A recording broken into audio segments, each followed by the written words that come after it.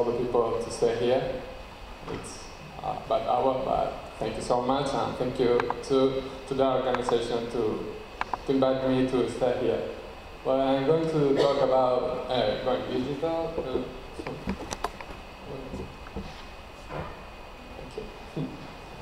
Uh, uh, those are the main points that I'm going to, to talk uh, now. First of all, introduction about uh, role-playing games. What is not solo role-playing house? Uh, the difference between this company and the rest of the sector of role-playing games.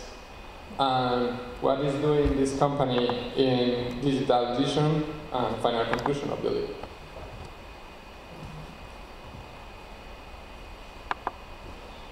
Well, uh, obviously we need to to have a, well, talk about the Spanish electronic edition and what is the actual situation.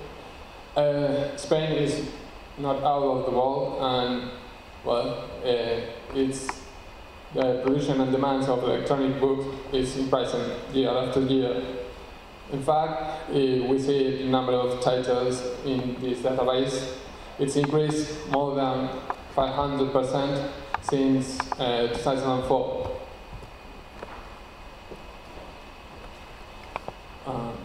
There are a few factors that we have to talk. For example, there are few companies that are making this kind of books.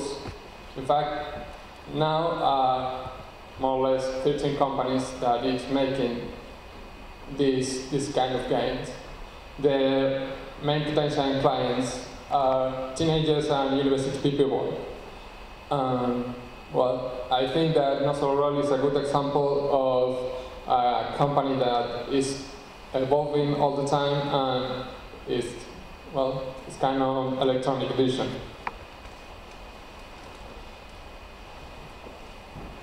What's the main significance of Nosolorol? Well, what is making different Nosolorol from the rest of the companies of the sector is that they are doing electronic edition. Uh, actually, it's the only one major company in, in Spain that is making this kind of, of format. Well, it's working with digital evolution too.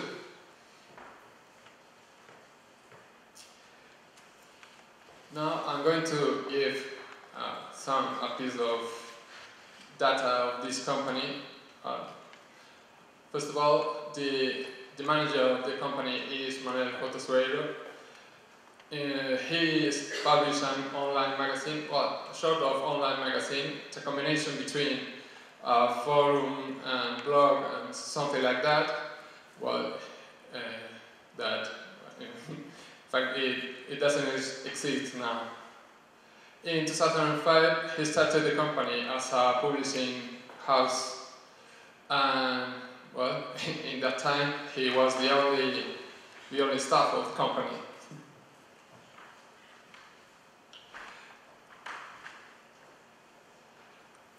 What's Akelarre? Well, Akelarre, uh, it's, well, he made this, this book that it's a Spanish role-playing game. In fact, the, the first Spanish role-playing game was published in the 90s by a, well, a farmer company called Joc International. And in 2010, he, he think that it could be a good idea to make a new sponsorship. And he chose this well, the, the oldest game of, of Spain. It was written by Ricardo Ibañez, and in, the, in fact this, this year, 2010, was also the year of the beginning of electronic edition in this company.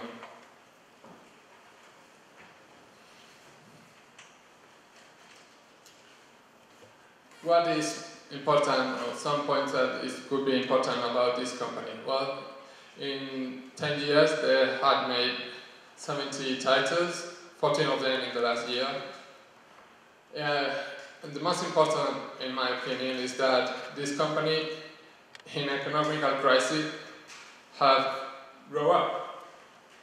multiply by 10 the staff of the company since 2005 um, and now.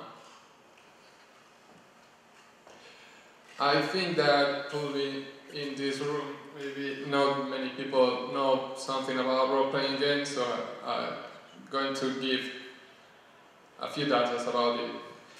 Uh, role-playing games started as, as we know, in, 17, in 1974 with Dungeons and Dragons. and was created by Gary Gygax, and this is well the cover of the, the first role-playing game. This game was also the first game that we know in Spain because a publishing house called Dalmau Carles made a translation in 1985. As we said, uh, well, uh, the sector of role-playing games in Spain, it's not big enough. Well, I think so. Uh, there are 44 companies that had work or, work or had work in role-playing games in Spain, but now there are only 13 companies making this kind of game. And if we talk about these 13 companies, five of them, these five, are making only self-production. I mean, they are making their own books. Normally there are one people only as a staff of any of them. There are two companies more called El Cine Sombra Ludotecnia that they are rarely published. They usually publish more or less one book every two years or more or less. Well, what are those uh, La Factoría de Ideas y Maki in special? Factoría de Ideas, they used to uh, publish role-playing games, but now are focusing in novels, and they only make reprints of their old uh, role-playing games book. And what about Maki? Well, Maki Editions uh, is making only Catalonian edition, Catalonian books.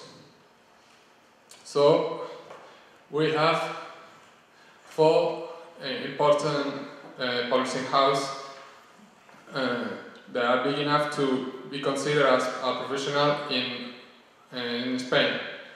First of them, Devir Iberia, is making the, the game that I speak after, uh, the speaker before, uh, called Dungeons and Dragons. Uh, Edge Entertainment and Holocubierta they made both self-publishing and also translation. And Nosolorol are mainly focused in self-publishing, but they have made some translation that are very important.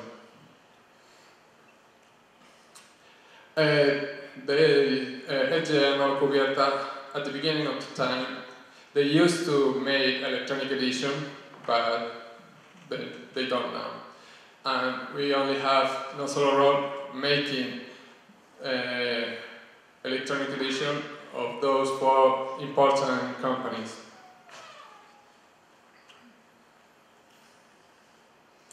Solo Roll now is only publishing in PDF format, but is thinking in doing in EPUB as the United States, and well, they are looking about doing something in, in tablet format.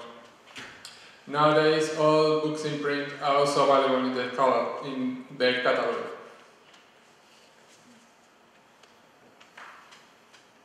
Uh, what about digital platforms? Well, at, at the beginning of electronic edition, this company, they used to work with Lulu, but well, they have bad results with this company. We, they also have one title on Amazon as a pilot experience, and it's also involved in social payment with Lektu.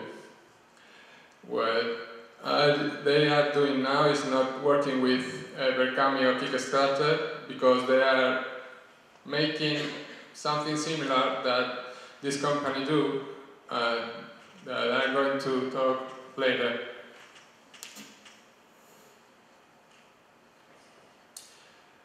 they have some special promotions. In fact, they have three types of promotions. First of all, is pre-sale.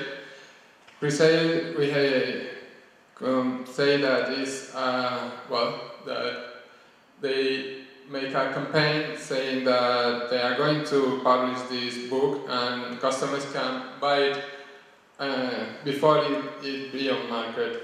Normally, this kinds of edition is a bit a bit expensive or special, but well, they have a reduction of of price and shipping cost by free. Next, deluxe edition is basically a pre-sale, but with a very expensive uh, edition of the book. And finally, that one is the most important in that company, and there are no more doing this kind of patronage or sponsorship if we talk about the sector of role-playing games. What is a patronage or sponsorship? If everybody knows something about Verkami or Kickstarter, they do something similar, but they control all the process uh, using their own web page. Customers have different levels and they buy as they want and well, there are different levels of goals and usually with different levels of edition.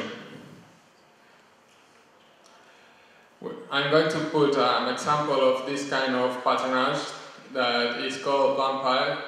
Uh, Vampire was published in Spain in the 90s with uh, La Factoría de Ideas, and they bought the right to make a special edition of this book in 2014.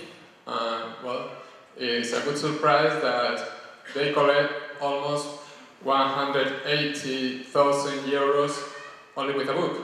Uh, I read a few years ago in the Publica newspaper that, well, in a similar campaign, the most expensive uh, project collected more or less to 20,000 euros. And we are talking about one, 180 euros. Uh, as every company in those days, they promote their products by the social network like Twitter, Facebook, Google Plus, and obviously they had they have a, a magazine called Nivel 9 and they do it and by by mail. Every book bought to Nosolorol that is something new in role-playing game sector has a code which allows you to download the digital edition of the book uh, from their website. And if you bought the, the digital edition, well, you have a code too.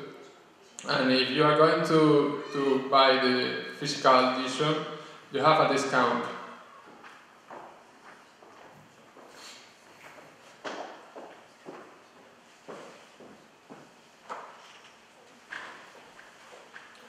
Uh, talking about electronic books, they have also some campaigns called Black Friday, as the Americans one, Cuesta de Enero, it's quite Spanish, and World Book Day, uh, with a reduction of uh, electronic edition between 13 and 75 percent. And obviously, it is helping them with the final result.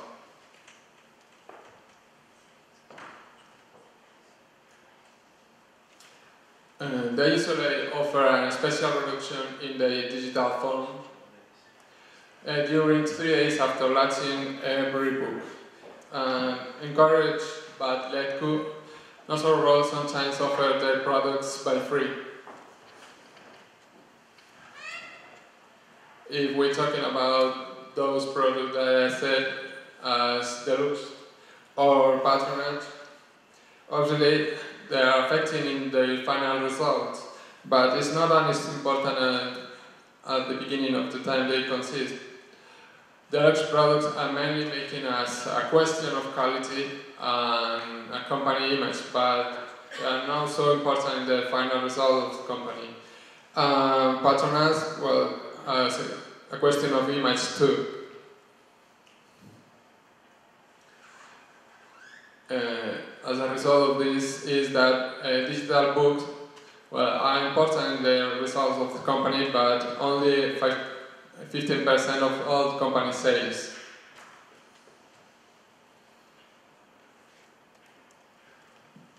Um, is something that is a bit uh, controversial because many publisher houses are not doing electronic edition because they think that they could be created and well in this case uh, consider that electronic book could be an opportunity to well to increase their sales. Uh, why is that? Because uh, consider that well a reduction of of prices of electronic format of their books uh, with a good quality of sales uh, make Nosolorol to be on market all the time and it fights against uh, piracy. In their own words, uh, just because of the combination of good price and responsibility, Nosolorol's products are not very much pirated.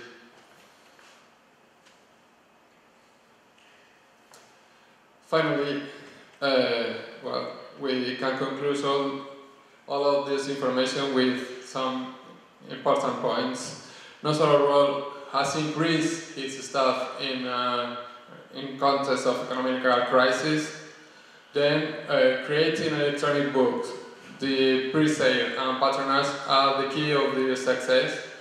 And I have an important question that I don't know why other companies that are not considered do it the same. There are two companies in this period of crisis called the Iberia and Edge that have had economical, economical problems. Uh, Devir, for example, have to move their office because they can't afford to, to pay it.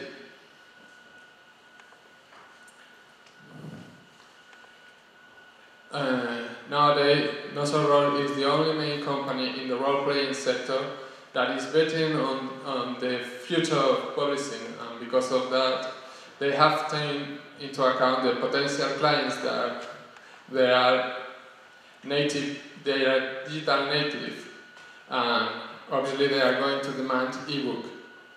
If companies of the sector of role-playing game don't do nothing, they are going to extinct. As uh, and Jimenez said, the future of publishing books consists on adapting and innovating to this new market with different formats and different media. Thank you so much for your time.